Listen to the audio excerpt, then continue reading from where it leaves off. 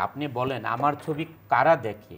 Celebrity কেন শোর নাম দেওয়া হলো যমুনাতে? সাড়ে দশটা থেকে রাত দুটা পর্যন্ত শো হ্যাঁ?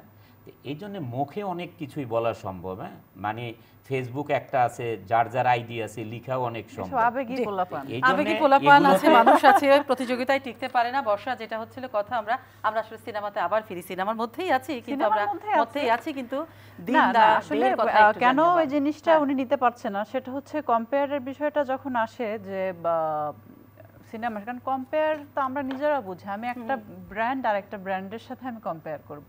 কিন্তু এটা আমি আমরা কিছুই জানি না। কিছুদিন আগে আমাদের দেশে স্বনামধন্য একটা পত্রিকার জার্নালিস্ট ওকে কল দিয়ে বলেছে যে ভাই আরও তো দুইটা ছবি আসতেছে। কি অবস্থা? আপনার কয়টা হল বুকিং হলো? তো বলল আমার তো অলরেডি আশিটার উপরে বুকিং হয়ে গেছে। ভাই বাংলাদেশে মোটামুটি হ্যাঁ, ভাই বাংলাদেশে হলই তো মাত্র একশো কয়টা। আপনি আপনি একাই বুক করে ফেললেন। কয় কেন ভাই আর কি আসতেছে? কয় এই আছে। কয় এটা কাদের ছবি? কয় অমুক অমুক। একটা হিরোইনের নামটা আমরা সবাই জানি চিনি। বাট হিরো দুইটাকে ওইভাবে আমিও চিনি না জানি না। বাট তারপরে ফোনটা রাখার পরে আমি আরেকটা জার্নালিস্টকে ফোন দিয়ে বললাম যে কি ব্যাপার? এই এই সিনেমা দুইটার হিরোকে হিরোইনকে তো বলে হিরোইন তো এই হিরো হচ্ছে এরকম তোরা কি করছে? কারা কি?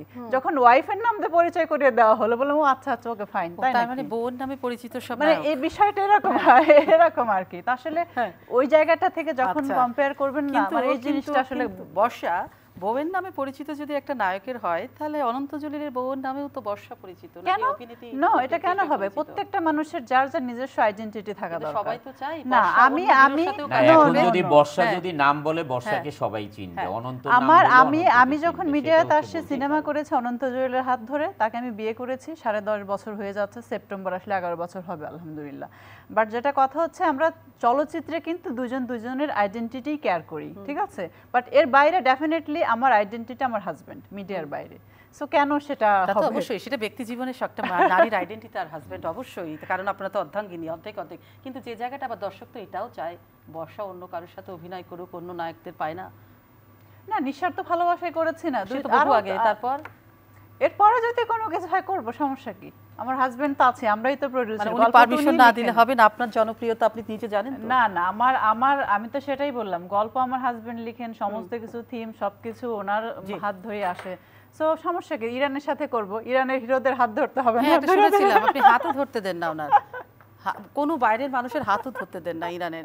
এটা কেন? না না। ইরানের না। ইরানের ইরানে কেউ ধরতে পারবে না। মানে এত সিনেমা হিরোইন না ধরতে পারে না। হাত ধরতে মানে পারবে না। এত কনজারভেটিভ তাহলে ইরানে যদি আপনি বাস্তবে যদি আপনি হ্যাঁ। হাজবেন্ড ওয়াইফ হন এবং মুভির ক্যারেক্টারে হাজবেন্ড ওয়াইফ হলে তাহলে আপনি মাথার এইখানে একটু টাচ করতে পারবেন আর শোল্ডারের এইখানে আর হাত ধরতে পারবেন। এই তিনটা জায়গা এছাড়া তো কোথাও ধরতে পারবেন না। আসলে ছবি আর যদি বাস্তবে হিরো হ্যাঁ, হিরোইন হ্যাঁ, না হন ক্যারেক্টারে হলেও আপনি হাত ধরতে পারবেন না।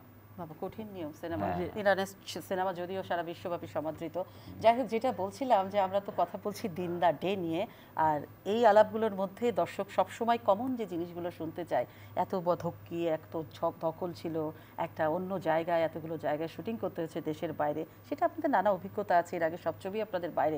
চিত্রায়ন করা হয়েছে কিন্তু এই ছবিটা বিশেষ করে কোনো কষ্ট কিংবা ভালো লাগার জায়গাটা কি আছে অনেকটা পুরোটাই কষ্ট বলতে পারেন। যেমন এই সিনেমাতে প্রথম আমাকে ম্যারিড কোনো মেয়ে দেখানো হয়েছে মানে আমার বাচ্চাও আছে। আর ইরানে শুটিং করাটা আসলে এটা খুব চ্যালেঞ্জিং ছিল। চ্যালেঞ্জিং ছিল বলতে মানে অ্যাক্টিং এর ক্ষেত্রে না সেটা ছিল হচ্ছে আমার ড্রেস আপের ক্ষেত্রে। কারণ ওই যে বললাম ওরা খুব কনজারভেটিভ ড্রেস আপে মেয়েদের মানে ডিস্টেন্স মেনটেন করা কাপড় টাপড় ঠিক রাখা। আমি ইচ্ছা করলে আমাদের দেশের মতো স্লিপার পরে ওখানে শর্ট দিতে পারব না। মানে আমাকে স্নেকার্স পরতে হবে যেন পায়ের পাতা দেখা না ইরানিদের মতোই লাগছিল? যখন আহ, ইরানিদের মধ্যে মাথায় হ্যাঁ। ঘোমটা দিয়ে হাত টাত কাভার্ড করে। এই জিনিসগুলো আসলে খুব চ্যালেঞ্জিং ছিল প্লাস হচ্ছে এত বেশি গরম ছিল আমরা যে একটা গান করেছি যেটা পার্সিয়ান এবং বাংলা ল্যাঙ্গুয়েজ দুইটাকে সমন্বয় করে। ওইখানে আমরা একটা সল্ট ছিল মানে মনে হচ্ছিল আইস বাট ওগুলো আইস না ওগুলো হচ্ছে সল্ট মানে এত গরম ছিল ইভেন রোদের তাপে সল্টগুলো যখন গলে গলে মানে পানি পিছলা পিছলা হচ্ছিল ওই জায়গাটা আসলে এই গানের শ্যুটগুলোর সাথে মুভমেন্ট করা এবং মরুভূমিতে শুটিং করেছি প্লাস এই সিনেমার আরেকটা গানে শ্যুট করেছে তার্কিতে তখন ওখানে ভীষণ ঠান্ডা ছিল কাপাদোকিয়া তো আসলে কাজগুলো অনেক অনেক বেশি কষ্ট ছিল বাট এখন মনে হচ্ছে যে না ঠিক আছে ফাইনালি স্ক্রিনে যখন ট্রেলারগুলো দেখলাম গানগুলো দেখলাম না ঠিক আছে কষ্ট করেছে বোঝা তো যাচ্ছে না কাজটা ভালো সিনেমাকে কিন্তু বর্ষা এবং অনন্ত দুজনের কাছে প্রশ্ন রাখছি কখনো গল্প এগিয়ে নিয়ে যায় কখনো একটা গান তাকে অনেকখানি এগিয়ে নিয়ে যায় একটা মানুষের মুখে মুখে ফেরে তারপরে গল্প তো থাকে অভিনয় থাকে এবং যেটা বিশেষ করে থাকে অ্যাকশন থাকে। আপনার তো অ্যাকশন নির্ভর একটা ছবি কিন্তু সেইখানে কোন জায়গাটা দর্শককে টেনে আনবে দিন দাটেতে ফুল ছবিতে। মানে এখানে স্পেসিফিক একটা গান না যেটা টেনে আনবে। না, হ্যাঁ। ওরকম না এটা প্রতিটা ফ্রেম আমরা এই ছবিতে আরেকটা টেইলার বানিয়ে রেখেছিলাম যে আমরা এই চান রাতে টেইলারটা দিব কারণ প্রতিটা ফ্রেমই টেইলার আপনার এই ছবিতে আপনার ক্যামেরা ওপেন হয়েছে একশো বিশ দিন। একটা ছবি camera forty five to fifty days camera open করলে ছবি হয়ে যায়। আপনার বলিউড এবং সাউথ ইন্ডিয়ার সবচেয়ে বড় ছবিগুলো সিক্সটি ডেসে ক্যামেরা ওপেন করলে ছবি হয়ে যায় এখনকার যুগে। এটার ক্যামেরাই ওপেন হয়েছে একশো বিশ দিন দেশে দেশে বিভিন্ন দেশে। আমরা ইরানের নাম শুনছি ইরান একটা দেশ। ইরানের কত সিটিতে যে শুটিং করতে হয়েছে সেই আপনার তেহরান থেকে ইয়ে যদি তেহরান থেকে ইয়েতে ইস্পাহান আসেন সেখানে সাড়ে চারশো কিলোমিটার দূর। আবার যদি সিরাজনগরী যান ওইখান থেকে চারশো কিলোমিটার দূর।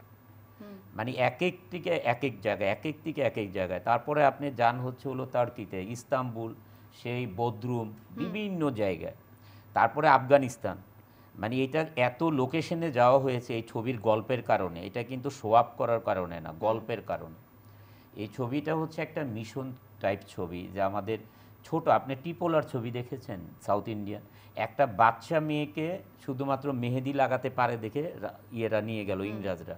দেখেন গল্পটা স্টার্টিংটা কত একটা নর্মাল ছিল আর গল্পটা কত বড় হয়ে গেল। আমাদের ছবিটা এরকম। কিছু বাংলাদেশি প্রবাসী কিডন্যাপ হয়ে যায়।